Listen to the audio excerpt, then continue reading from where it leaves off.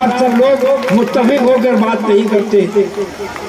और इलेक्शन में सब लोग आपसी इख्तलाफात को बुला के नहीं बात करते। तो जो लोगों की कोशिश थी कि अब के नहीं तो कभी नहीं। सारे नेताओं की यही कोशिश थी कि इस बार नहीं तो फिर कभी नहीं। और ये हकीकत भी है।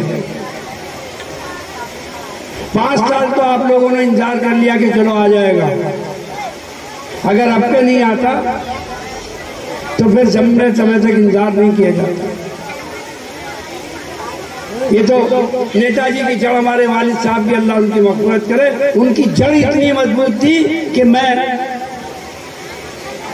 सत्रह साल के बाद आ गया।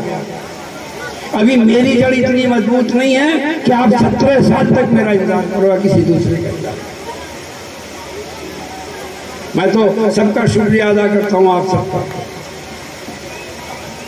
और फिर आपसे दरखास्त करता हूँ कि अगर ये स्कूल ठीक चल रहा है, यहाँ की तालीम का मैार ठीक है,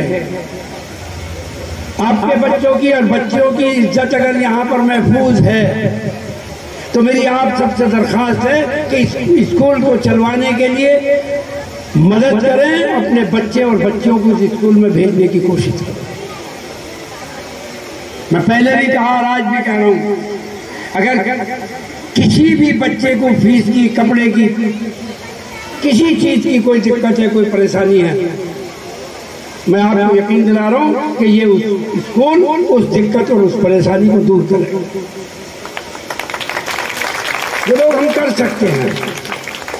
या आपने जो रवैया अख्तियार करके, जो मेरी मदद करके मुझे इस मुकाम पर पहुँचाया है, मैं आपको यकीन दिला रहा हूँ कि जिस चीज़ की, जिस वक्त की ज़रूरत पड़ेगी इंशाल्लाह मैं आपके साथ करूँगा लेकिन बच्चों को तो आप ही को भेजना है।